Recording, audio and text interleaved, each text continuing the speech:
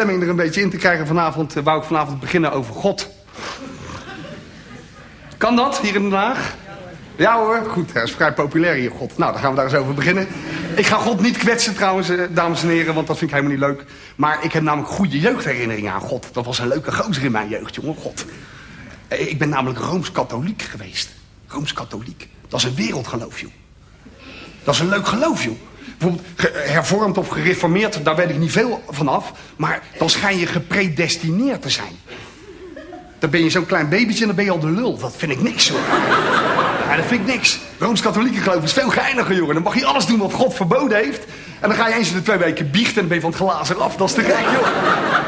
Je hangt de vuile was buiten en dan gaat God, God dat strijken en wassen... en dan krijg je alles weer terug, jongen. Dat is toch te gek, hè? Dat je daar met je stomme kop van afvalt, hè, van zo'n geloof. Dat is stom, hoor. Bij mij gebe- gebeurde dat in de roerige zestiger jaren. Toen was ik er al. En eh, toen viel ik van mijn geloof af op een vrijdag. Dat weet ik nog precies, want we zaten school te vreten, hè? Ja, katholiek, dus we zaten school te vreten. En mijn oudere broer zegt ineens... Pa, ik ga niet meer naar de kerk. Nou, die school bleef echt overdwars steken bij mij, hoor. Dat was gewaagd, jongen. Was... En mijn vader zegt tot mijn verbazing... Heb je daar goed over nagedacht, Paul? En mijn broer die zei ja. En mijn vader zegt, dan hoef jij niet meer naar de kerk.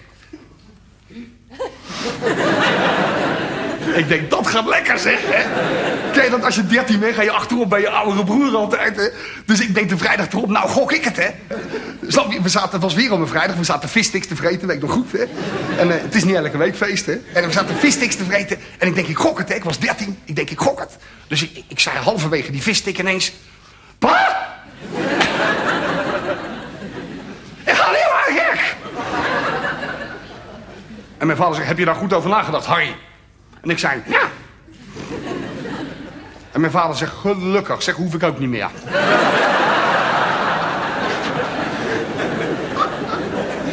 Nou, daar mag ik eigenlijk zelf niet om lachen, maar het is echt gebeurd. Dat is een wereldverhaal. Leuke vent, die ouwe van mij, hoor. Geinig, joh. Die heeft 15 jaar lang voor ons geloofd, jongen. Afspraken na te komen. Leuke vent, jongen. Geinig, ja, ja, ja. Maar dat, dan, en dat meen ik echt heel serieus.